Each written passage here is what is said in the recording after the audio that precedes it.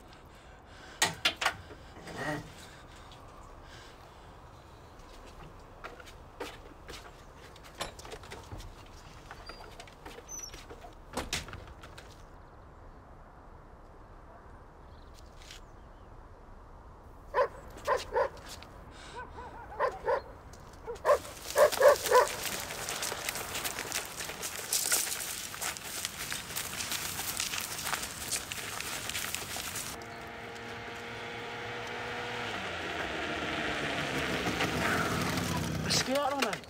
Han var der ikke. Hvad? Han var der ikke, Så Fædre. er vi da tilbage og venter. Nej, vi kører hjem.